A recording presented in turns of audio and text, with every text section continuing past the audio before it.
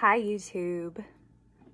Welcome back to Mystic Moons Astrology. My name is Ashley, and today I am finally starting the South Node series with South Node conjunct the Ascendant in Synastry. So, everyone, welcome back, and thank you all for subscribing and for commenting and your likes and everything. It's been wonderful.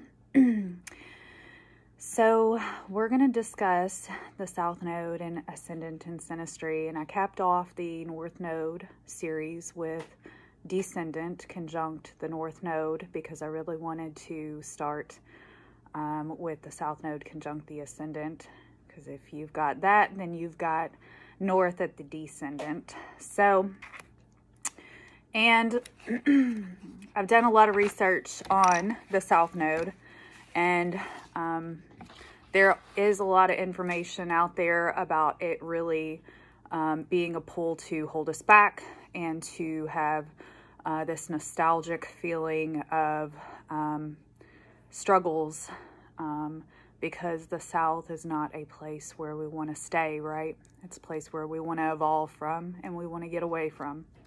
And it's habits. And so these things are ingrained in us and um, as I discussed the South Node conjunct the planets and axis in, the, in this series, I'm not going to focus so much on the negative aspects. And the reason why is because I will do my own separate space for that. And I will discuss that, especially with the um, squares, which can bring some friction. And the oppositions, not so much, because the oppositions really can be a mirror and can be quite reflective and teach us a lot and they can be quite positive instead of negative so but like I say, I'm going to be really focusing in with this series with the positive attributes of South Node conjunct the planets and axis. And I'm excited to get this series going because the South Node is definitely a place where um, we feel connected if we have planets that reside there. And I personally have Moon sitting with my South Node. And um, also have a few other, I think, asteroids sitting there. And Venus not too far away from the south. so there um, definitely is a pull for me to discuss this topic because I have dealt with it in my own chart and I continue to progress and deal with that in my chart. So anyhow, discussing South Node conjunct the Ascendant and Synastry. Well, what is a Synastry chart? A chart um, with a Synastry comparison would be two natal charts and we would look at those together side by side and they would um, show us things that are important in this relationship flirting um, easy easy things that come and tough things that come around with synastry and um, synastry is really a wonderful tool for examining our relationships. So south node conjunct the ascendant have we met before this may be a question that pops up in the heads of the South Node or the Ascendant person upon meeting. The South Node definitely sees someone nostalgic, uniquely familiar, and a friendly face in the Ascendant. These two could have had a past life connection and are meeting again. The South Node wants to care for the Ascendant person, whether that be physically, emotionally, nourishment, or fulfillment. Natural comfort ensues between these two upon figuring out that they have a lot in common.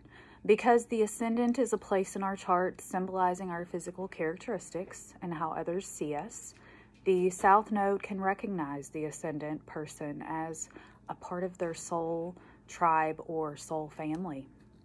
The South Node and Ascendant can get along well together. Compromise and harmony are important to both here. These two can be natural, natural friends, allowing the other to be their silly, heart-centered selves. The ascendant person can be enthusiastic, uh, energetic, and can pull the South Node person out of ruts and, st and stagnation. The ascendant person can be very beneficial to the north node or south node as these two have the descendant on the north node, encouraging and inspiring a progressive relationship where and one where descendant and north node it seems destined, influential, futuristic, and growth oriented. These two in synastry are teaching one another about identity and others. Because these two in synastry are teaching one another about it, they can experience familiar yet unfamiliar harmonies in the relationship with one another, and they can be fill, held, filled, held back, as well as kind of pushed forward. The South Node feels a soul connection with Ascendant.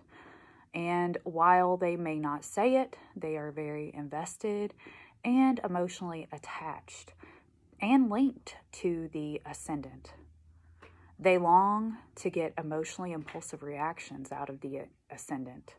There is a knowing in meeting the meeting of these two in synastry. The ascendant feels comforted, understood, and in a safe space with the south node. South node always has a potential in holding the planet person back. And for this contact, this can be that the south node isn't the most encouraging on self improvement on the part of the ascendant. And it is not because they don't want the ascendant to get better. It's just that they like the ascendant the way they are already. They get comfortable with the ascendant and allow them to feel okay with the personal choices, um, which can offer quite the acceptance for um, both of them, honestly, because the South Node is able to um, naturally relate to the things of the ascendant, and the ascendant's able to be themselves and to really, um, you know, just feel like someone accepts them on a base self level. South naturally uh, wants to emotionally support the ascendant and what they want to go after. And obviously, if you have further aspects to either the ascendant or the south node, this can modify how uh, the, this contact shows up in synastry. But this is just a little information about South Node conjunct the Ascendant when we see it in synastry. And um, it can be really comforting. And um, the South um, Node wants to care for the Ascendant. And um, the South sees a nostalgic, familiar, destined face in the Ascendant person. And the Ascendant feels very comforted by this contact. So if you enjoyed this video on South Node conjunct the Ascendant, please let me know. Uh, comment below or um, give me a like. And uh, feel free to subscribe to the page if you like the content. I am going to be continuing on this South Node series. And I'll be working on getting the uh, Sun conjunct South and Moon conjunct South next. So I'll see you guys very soon, and I hope you're having a wonderful day. Take care. Bye bye.